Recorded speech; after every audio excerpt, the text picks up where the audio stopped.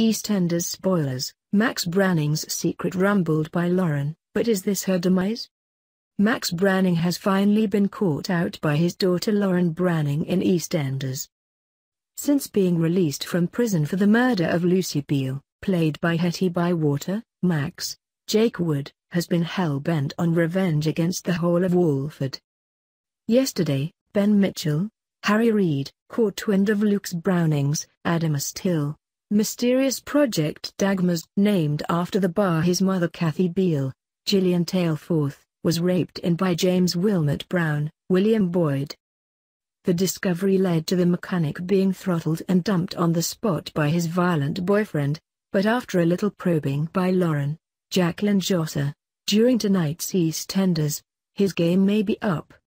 EastEnders' answer to Nancy Drew found Luke is secretly plotting to demolish the Queen Victoria pub and replace it with another London high-rise. However, her discovery may prove to have dire consequences. When her boyfriend Josh Hemmings, Eddie Eyre, grilled his brother about Project Dagmars, he too found himself with Luke's hands around his neck. What's more, Luke warned, keep your girlfriend out of my affairs or I will hurt her.